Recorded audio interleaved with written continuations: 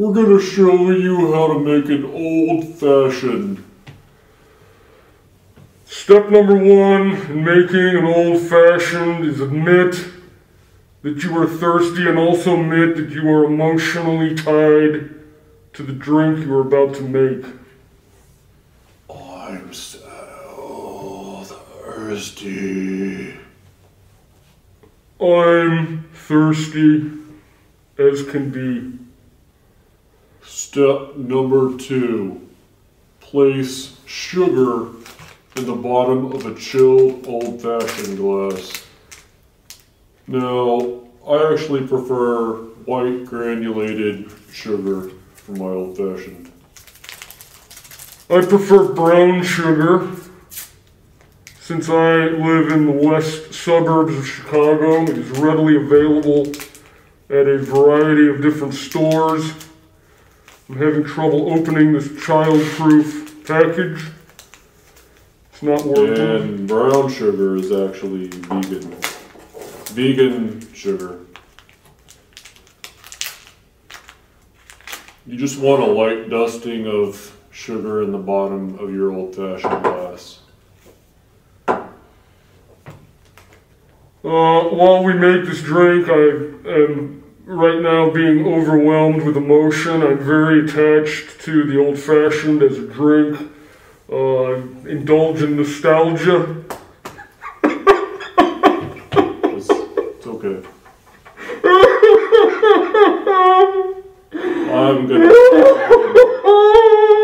gonna go ahead and read his step. Step three, add dash of Bitters.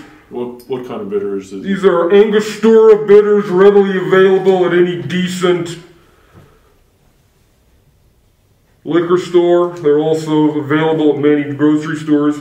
You want to add a few dashes so it covers the top of your sugar that has already been placed inside of the old fashioned glass. Very good.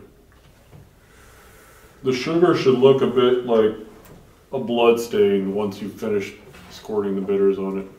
We're going to go ahead and move on to uh, number five, which, uh, step number four, which is add a cocktail cherry. Also referred to in many communities as a maraschino cherry. Grab a spoon, add a little bit of uh, juice as well. I'm using this in lieu of the water. So I'm adding a squirt of cherry juice and then a full maraschino cherry. Nicely handled, very nicely done. Step number six mash or muddle ingredients together. You can use this large spoon that we've been using. You want to smash the cherry, mix up the sugar with the maraschino cherry juice. It'll appear to be embryonic as you're mashing it together. Also, the bitters should produce a very pungent and very noticeable aromatic sensation. That's actually a good point, and it should also become frothy. The mixture should be frothy. It Should be frothy and slightly chunky, very textured. Don't Very worry about aromatic. Excuse me, I was actually speaking. Sorry. You want it, uh, you don't want to get hung up on dissolving all the sugar. Step number seven add two ice cubes. Go ahead, my friend. These ice cubes are, in fact, vegan. They are indeed vegan ice cubes. Two ice cubes per drink.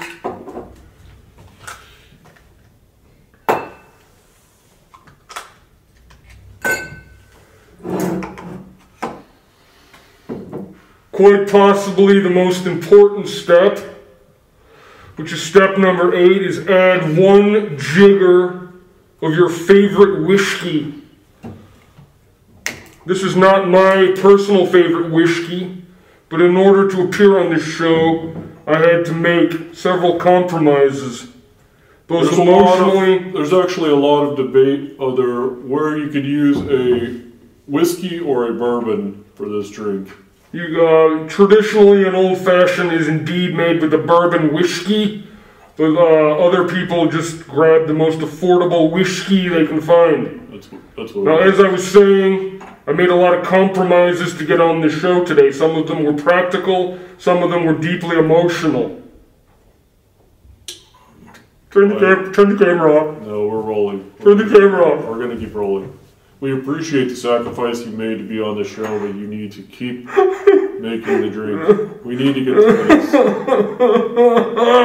Once you have passion, you will feel better. okay. Add one jigger Generous jigger. of whiskey, one jigger only Two. of bourbon whiskey. This is benchmark old number eight brand. Two, two jiggers.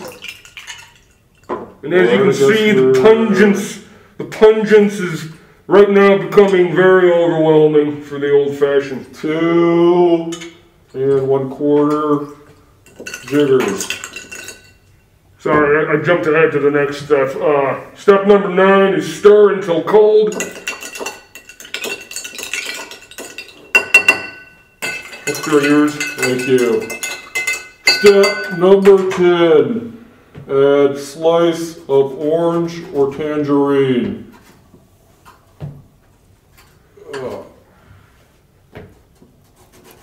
Quite delicious and rubbery.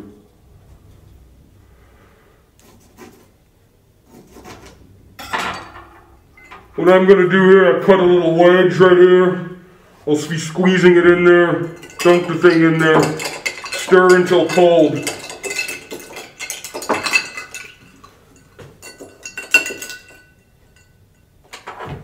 Step number 11 is raise your glass and clink with a good friend. It's true. You want to raise a glass and clink and establish eye contact for a good toast. Step number 12. Down drink.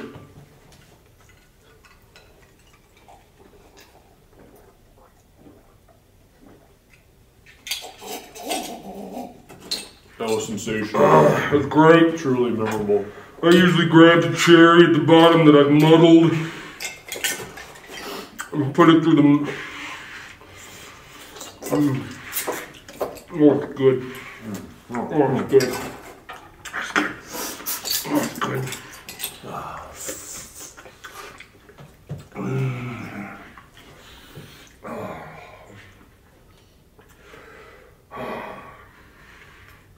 you for joining us this afternoon or this evening or this morning, whatever time may be for you, and we've really enjoyed showing you how to make an old fashioned.